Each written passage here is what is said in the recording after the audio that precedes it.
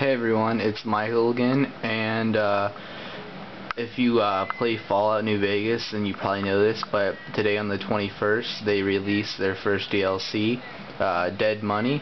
So I'm going to be showing you some of the unique weapons and clothing you can get from the game, or from the DLC, okay? So if you don't want to see this, then stop watching the video. But yeah, okay, here we go. So we're going to start with weapons. And the first weapon is the automatic rifle. And if you remember the uh, weapon this machine, which is the M1 Garand, this is another World War II weapon. It is the BAR, the Browning automatic rifle. So I'm going to try to zoom in here if I can. I'm doing this with one hand. But crap. Alright, there you go. Okay, so that's the BAR, which in this game is called the automatic rifle. Okay.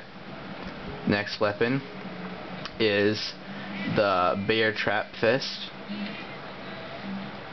So that's what it looks like in first person. And then third person, right here. Okay. Bear Trap Fist. Okay. And then the next weapon is the gas bomb. Okay, that's first person. And then right here is third person. As you can see, it's just like a big gas container, that's all. Okay. Next one is the Gauss rifle, and now I know this is an average weapon, it's not a special weapon, but so far I haven't been able to find another one in Fallout New Vegas, and you do get one from the DLC, so I decided to put it in. So, yeah, there's the Gauss rifle.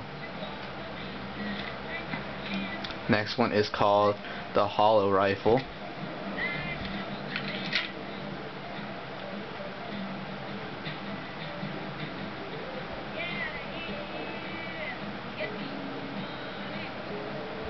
Okay.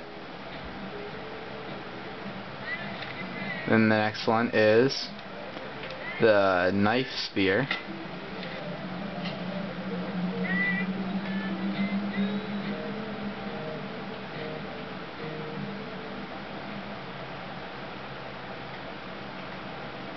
So yeah. Then I believe this. Oh wait, no. This is. And then next one is the police pistol.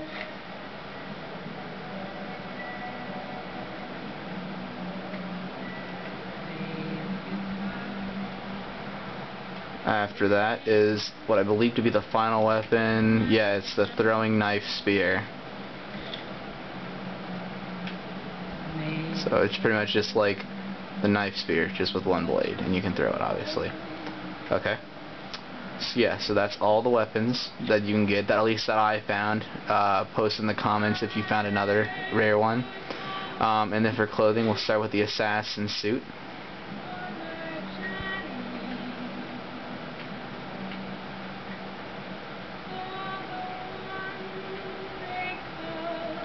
Okay. And then next one will be Dean's tuxedo.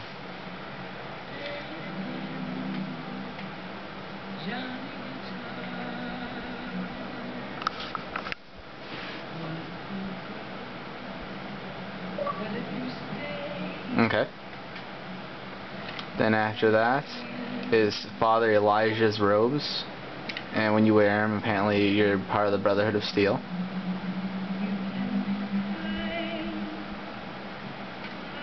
See? There you go. They just like normal. They just look like normal brother Brotherhood of uh, steel robes, but they're called his. Um, and then there's the. I'm gonna put both these on at the same time, and this is the Sierra Madre armor reinforced and the Sierra Madre helmet reinforced. And now there is a normal version of it, but I didn't pick it up because the reinforced is better, obviously, and it looks cooler too. So yeah, there you go. That's what it looks like. Um, and then the final one is Vera's outfit. Which, for girls, it would be a dress, but for guys, it looks like a, just another fancy suit. Okay.